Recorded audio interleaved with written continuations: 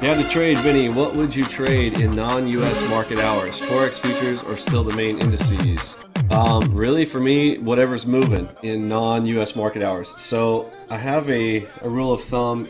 Let me show you guys this. If you're in our E-mini main chat, you can look at our sessions, exclamation mark sessions, and then for the overnight, sessions two or session two. You know about the daytime ones, but after hours, here is here are the things you need to think about you're going to be trading the non-US market hours, okay? Here's what I say. I do not recommend for new traders to trade the Asian European session US overnight.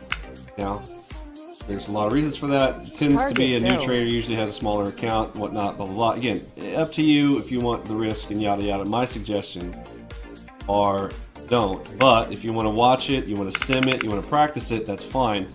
Um, get good at it. But here are some scenarios where you might want to, after hours, here's the scenarios. Bank of Japan reporting, okay, that's a Red Star News event. Bank of Japan in the off hours, that's a good one. Something that gives some extra volatility in Speed the off hours is going to be good for it. Or any type of macro event, market moving news events, okay?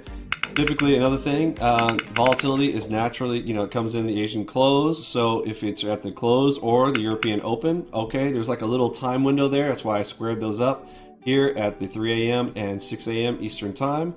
Um, those opens and closes might be a spot, but in general, do you really want to roll through the whole day unless there are, again, market impacting news events where you're going to get that extra volatility because of news in general, that's my suggestion around dealing with uh, non-US sessions. Press the like button, share, subscribe, and comment below with your thoughts and what you've learned. Watch this next video.